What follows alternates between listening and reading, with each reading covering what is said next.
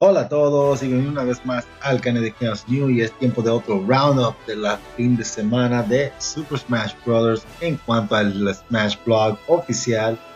Y empezamos la semana con un personaje, en este caso Shock, super personaje popular por el área de Xenoblade, tanto así que sale Xenoblade X, salió Xenoblade Chronicles 2 y aún así yo creo que Shock sigue siendo el más favorito para todos es un personaje que puede cambiar su estatus durante la batalla. Su espada, el monado, lo permite cambiar entre cinco modos: brinco, velocidad, escudo, buster y smash, los cuales pueden cambiar sus habilidades por poco tiempo. Una cosa divertida, eh, la visión de los ojos de, Shock lo, permiten.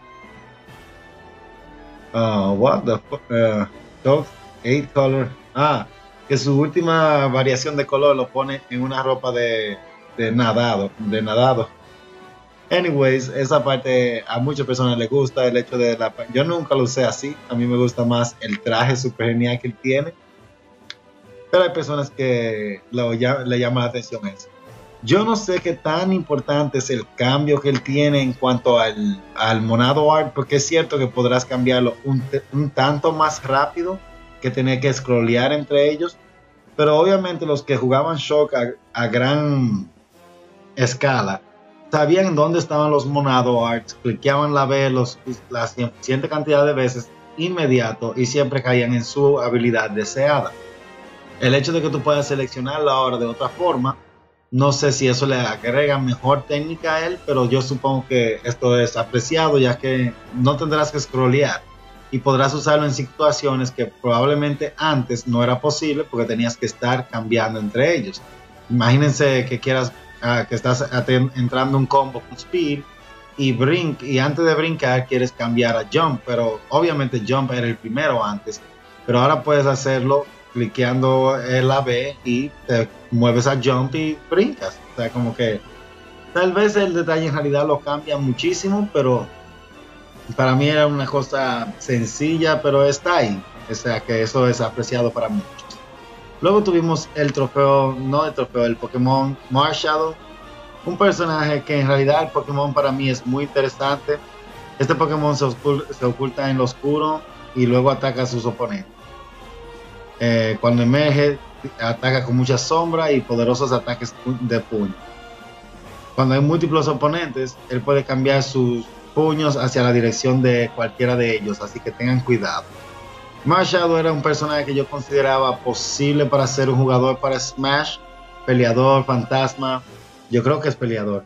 Es súper interesante el diseño, todo de él es muy llamativo.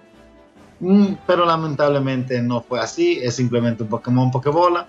Como le toca a muchos de los legendarios. Y al menos está aquí. Y era de esperarse porque el Pokémon es bastante chulo.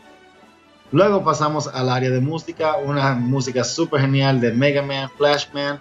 Está muy bien el arreglo por Keiichi Okabe. So, tiene un toque de guitarra nueva y un toque nostálgico. Todo eso está súper genial, la música me gusta. Hablando de músicas, en esta semana también ya se filtró la música del menú de Smash Bros. Ultimate, el cual está extendido y contiene más música que el que habíamos escuchado antes y les sugiero que lo escuchen porque está súper genial por igual. Luego nos muestran el escenario Green Green. Este escenario está basado en Kirby Dreamland con Wispy Wood en el centro, el cual eh, bota viento para los lados. Puedes comerte la manzana para recuperarte o puedes recogerla y lanzarla a tus oponentes. Hay manzanas que te recuperan y hay manzanas que se pueden lanzar. Eso siempre ha estado en este escenario. No es uno de mis favoritos. El asunto con los bloques y las bombas lo hace muy hectic, es muy caótico en realidad el escenario, por simple que se vea por el hecho de estos bloques. Puedes incluso irte lanzar a un oponente y viene bajando uno de estos bloques bomba y sale volando explotado. Es un escenario muy complicado, pero por lo menos en la área casual es muy interesante y divertido de jugar en. Luego nos mostraron a Cloud durante esta semana.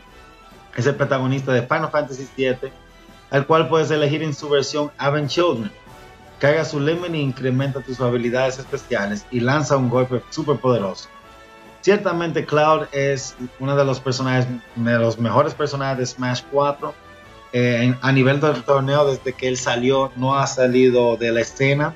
especialmente los dobles, teniendo el efecto de banear el doble Cloud por el hecho de que era extremadamente peligroso este combo de dos personajes, de dos jugadores usando a Cloud al mismo tiempo, debido a la posibilidad de los limit breaks y los combos posibles de lanzarte hacia los limit breaker moves, que por lo regular son movimientos que dependen de un correcto, de una correcta leída para poder conectar.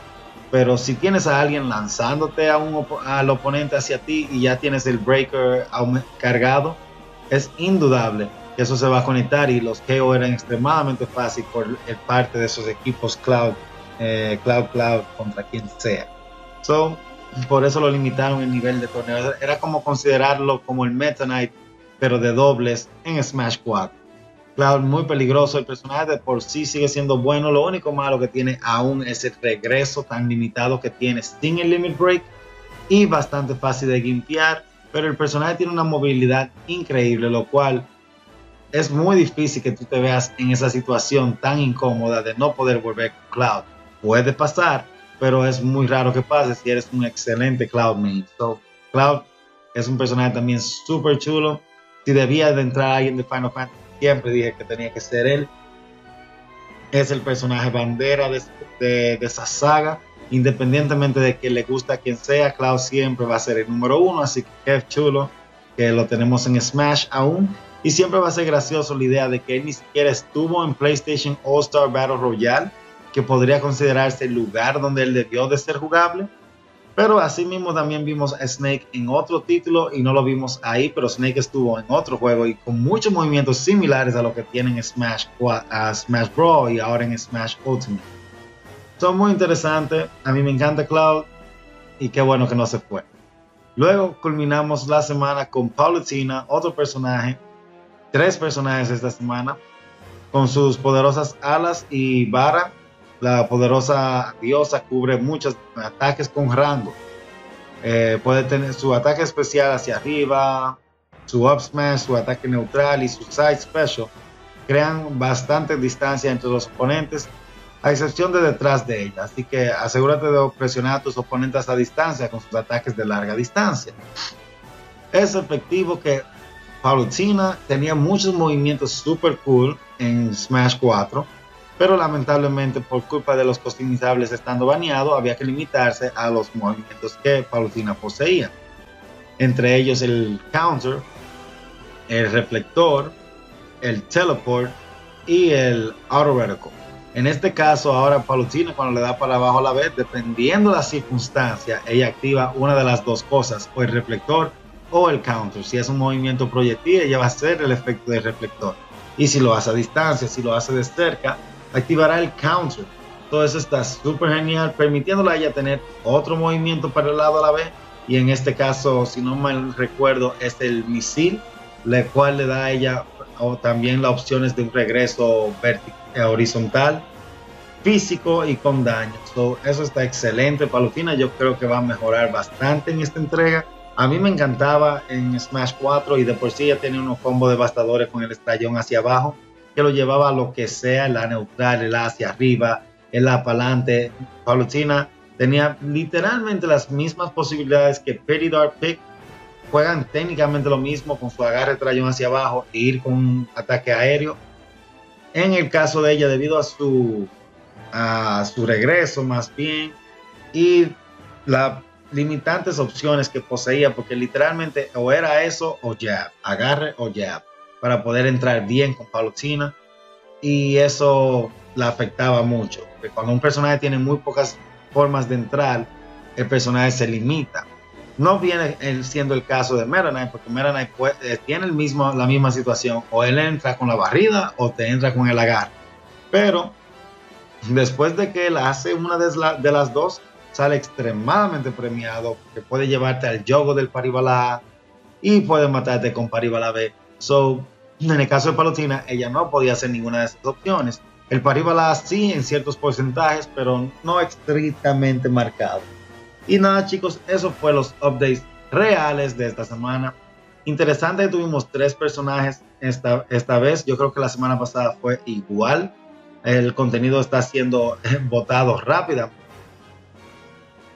rápida. Eh, nos estamos acercando. ¿Qué, qué, cuántos días que faltan? 50, 49. El punto que queda, que queda poco para la salida de Smash Bros. Ultimate y todos estamos ansiosos y es agradable ver cosas reales y no solamente cosas falsas. So, cuídense mucho chicos, happy gaming, happy smashing y nos vemos en la próxima. Dejen en los comentarios qué ustedes opinaron del blog esta semana, qué opinan sobre el tema de Smash, el menú que en realidad está súper cool para mí, si les gusta o no. Antes eh, yo estaba como, ah, Ultimate suena genial, pero sigue siendo Brawl mi favorito. El tema de Brawl es simplemente increíble lo que hicieron ahí. Pero ahora ya me está entrando el gustico de esta música y me estoy acostumbrando y me gusta incluso más que la misma de Smash 4. Todo, hasta la próxima, chicos. Happy Smash.